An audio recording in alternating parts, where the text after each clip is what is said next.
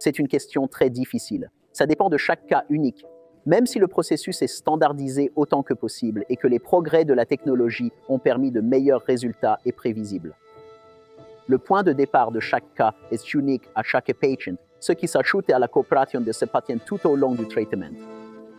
Les cas peuvent prendre aussi peu que quelques mois, moins de 5 à quelques années.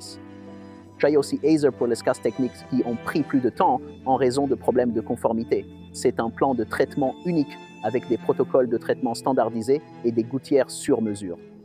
C'est de cela qu'il s'agit, d'un travail d'équipe entre les patients, les médecins traitants et son équipe de soutien. Avec 20 ans d'expérience, je peux vous dire que la plupart des cas s'inscriront dans un plan de traitement de 12 à 30 mois. Moins de 12, c'est possible, mais la plupart du temps, la phase de rétention active se rapprochera de cette ligne de 12 mois.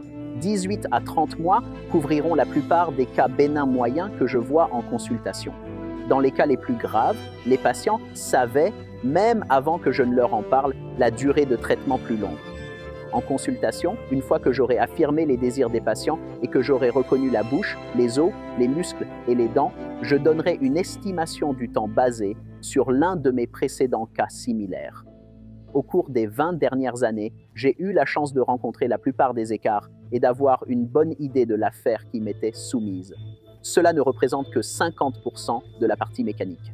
Je dois encore m'occuper de la partie humaine, de la motivation, de la conformité et de la discipline. Je suis assez direct avec mon patient à ce sujet. Je compte sur leur collaboration pour atteindre ces objectifs. Le temps du traitement est un objectif, pas une promesse.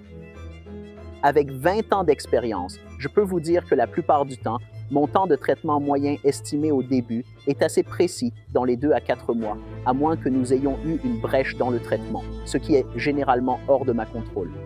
Pour chaque cas qui se termine un peu plus tôt, l'un prendra un peu plus de temps. La moyenne reste la même.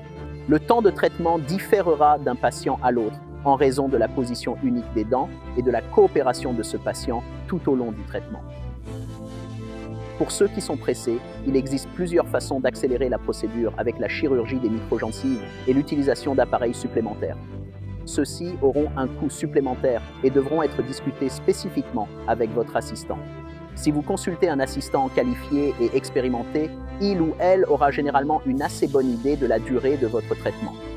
Cliquez sur le lien ci-dessous pour une consultation avec l'un de nos professionnels chez MDX. Il nous fera plaisir de vous guider et de répondre à toutes vos questions. Bienvenue chez MDX. Je suis le docteur Bach, MDX pour la joie de vivre.